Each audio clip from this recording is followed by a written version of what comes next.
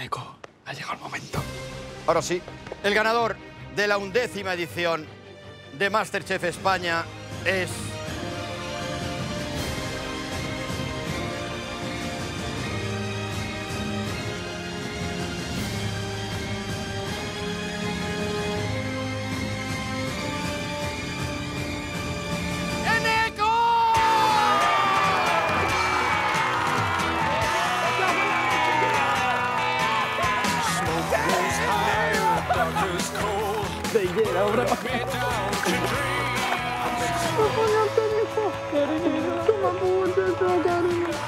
No, es que no me lo creo, es que no. Es que venir aquí y ganar, ganar, o sea, ser uno de los ganadores de Masterchef.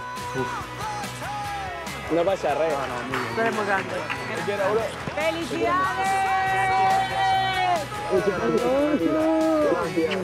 Me alegro muchísimo por Eneco. Eh, le quiero como si fuera mi hermano y mi padre a la misma vez. Lo mereces, tío, me alegro mucho.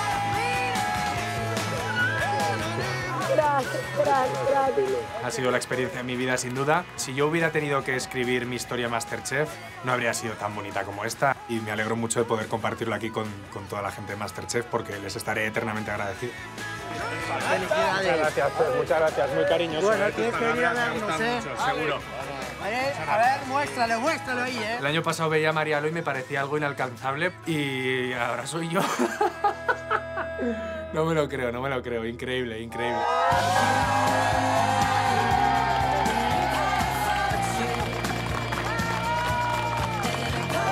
Voy a disfrutar como un niño y voy a ser feliz trabajando en lo que, en lo que me gusta, que hay muy poca gente que creo que pueda decir esto. Muchas gracias a todos. Gracias a todos. Gracias.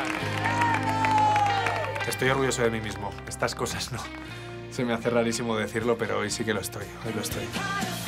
Ya tenemos el nombre del undécimo ganador de Masterchef. Ha sido un duelo muy reñido, pero finalmente Neko se ha impuesto a su compañero. Una justa y merecida victoria, porque desde el primer reto ha demostrado su pasión por la cocina y su esfuerzo y determinación por alzarse con la victoria. Nosotros nos vamos, pero les esperamos muy pronto con la octava edición de Masterchef Celebrity. Mientras ya saben, pónganle...